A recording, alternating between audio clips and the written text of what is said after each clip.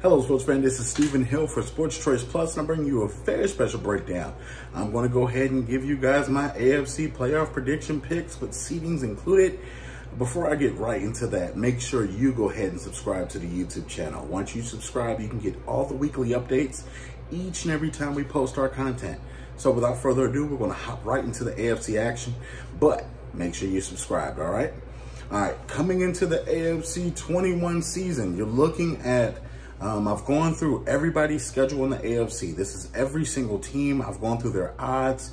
Um, I've even looked at, you know, some of the simulations that they've had, some of the players that they have on their roster, the ones that did not opt out. And I'm just looking overall, and here's my playoff picks, okay? So, and I'm going to tell you each and every team why I think they're going to make it and just what kind of impact that they have. Uh, we're going to start with the three wild card teams. I think the first wild card team, I'm going to go with the Cleveland Browns. Um, with the Cleveland Browns, you know that they have a history of not being able to finish strong. They have a history of not really uh, rising to the occasion when they have all of the expectations on them. I think it's a little different this year because we know what the Baltimore Ravens are. The Pittsburgh Steelers are always going to be that wild card, but I just believe Big Ben's not going to get the job done for the Steelers, which leaves the door open for a wild card spot. Um, when you're looking at the Miami Dolphins, you're looking at a team that's on the rise. I don't know if Tannehill's going to be able to work his, uh, not a Tannehill, excuse me, uh, uh, Tua. I don't know if Tua is going to be able to get into the starting spot and work any kind of magic with the Miami Dolphins. But when you're looking overall at the bigger picture for the Cleveland Browns, what do they really have to worry about? I don't think they're going to beat the Ravens twice. I think they can steal a game or two from the Pittsburgh Steelers. I think they can beat the Bengals twice. They're looking at their schedule after that being a, a, basically a Swiss Army knife. They can make certain things happen with Juice and Odell Beckham Jr. I think they're going to get on the same page with Mayfield and Chubb, and they're going to finally get this offense. You look at Austin Hooper coming up there. They're going to have a potent offense, if you will. And I think that it's going to explode on a couple of teams, and they're going to take those uh, teams for granted.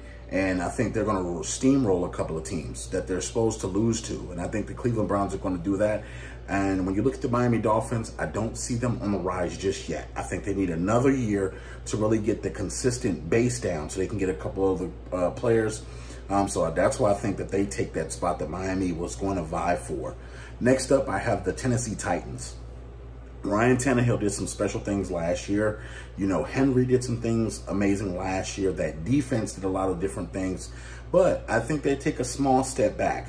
Um, with them being in the driver's seat for so many games last year in the playoffs, they let their foot off the gas pedal of the defending Super Bowl champ, the Chiefs and it cost him dearly. I think that this defense lost a couple of pieces.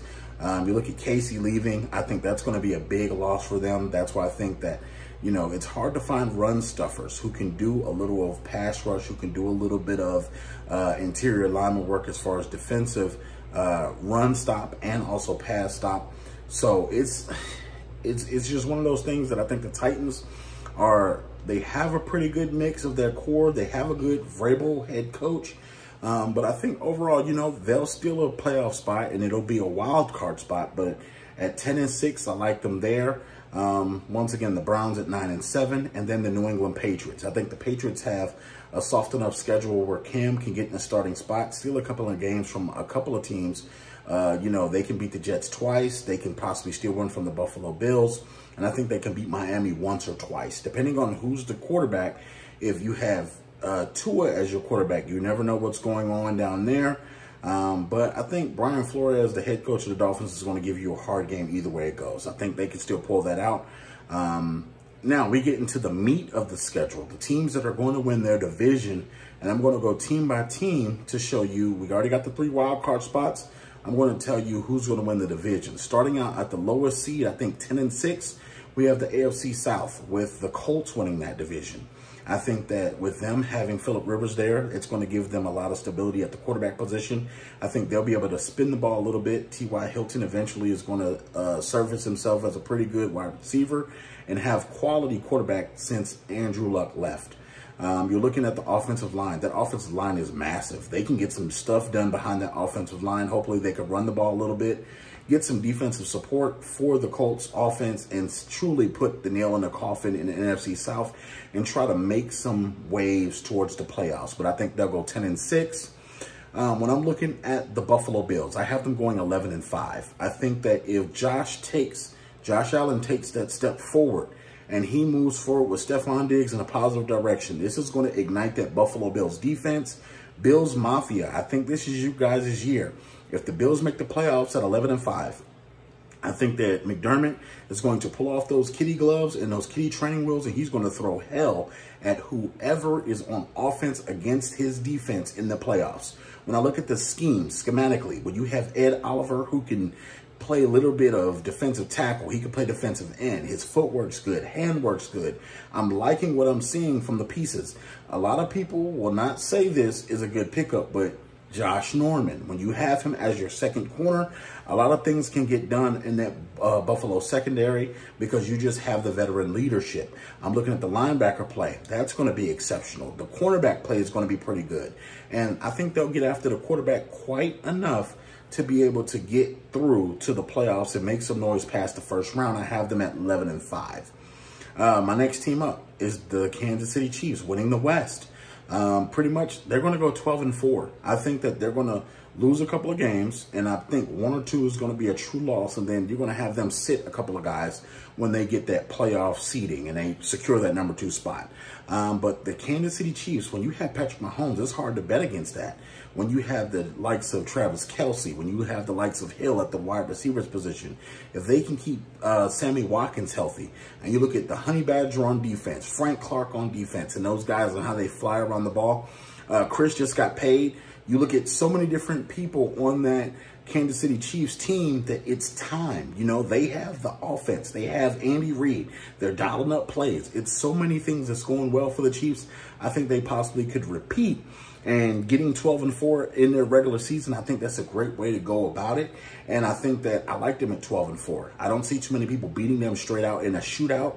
I think Mahomes is going to have to protect himself a little bit because you got to think he's the $500 million man and they're going to have big expectations. So they're going to have a couple of showdowns, especially with opening the season.